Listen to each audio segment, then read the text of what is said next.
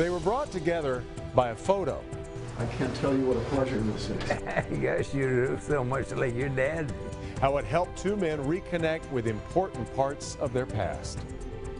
Yeah, a man who lives in New York had questions about his father's past, and it turned out the answers were here with a World War II veteran living in Metro Detroit. Well, their connection traces back to the Battle of Iwo Jima, which started 70 years ago this week. And Roger Weber shows us the remarkable way the two finally got together. All right, Dad, pretend like Don Walters spent most of his 91 years putting Iwo Jima behind him. But now his Hazel Park home is full of wartime memories. Once a Marine, always a Marine. The flag raising on Iwo Jima could be the most powerful war photograph ever taken. Another image directly below it is forgotten by all but a few, but Walters knows it well, and so does Bob Jansing. The anticipation is just, it's enormous, and it's been with me since I found out that Donald was alive. Jansing has traveled from Albany, New York to meet Walters. Well, if it's anything like his dad was, he's a hell of a nice guy. Bob Jansing's father, Lester, who died in 1989, is seen in the back of a captured Japanese motorcycle. Don Walters is in front. In February of 1945, a few weeks before this photo was taken, Walters was on a troop ship in the Pacific. They got us up on deck and went this small mock uh, island, and they told us where we was going. Nobody ever heard of it before. But Iwo Jima would become famous, one of the bloodiest battles of World War II. The 5th United States Marine Division fires on Japanese gun emplacements studding the mountain. Over 26,000 Americans were killed or wounded. I said, I hope somebody up there is watching over me. A bullet passed through the seat of Don's vehicle, and a mortar shell nearly hit him as he dug in.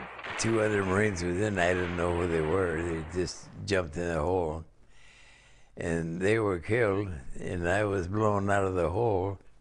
I didn't have a scratch on me. The beaches were taken quickly, but high in the hills, Japanese soldiers were entrenched in tunnels and caves. They'd bury a 55 gallon drum in the sand, in the dirt.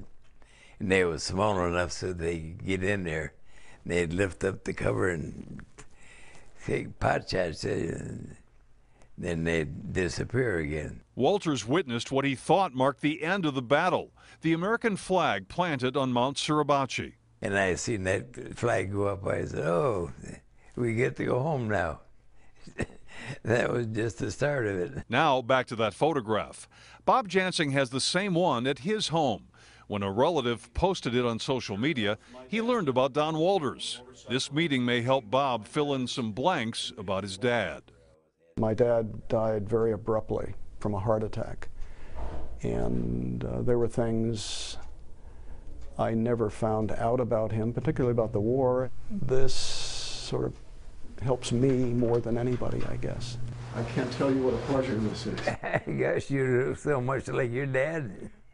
That's what I'm told. Uh, I swore that was old Jancy coming in the door. That is such a compliment to me. Lester Jansing was a quartermaster responsible for getting supplies to the island. 70 years after Iwo Jima, Bob is learning more about his father. I asked him one time, "How come you don't wear your bars?"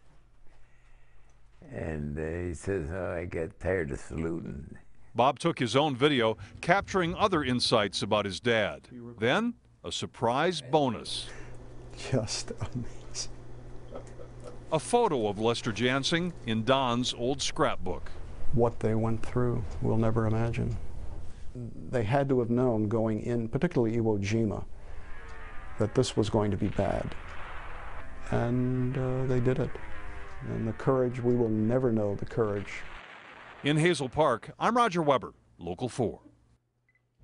Just remarkable, right? And the, the social media That's connection. what I, you know, it just, the older I get, the smaller the world Isn't gets, that right? but social media makes it even smaller. Exactly right. Yeah.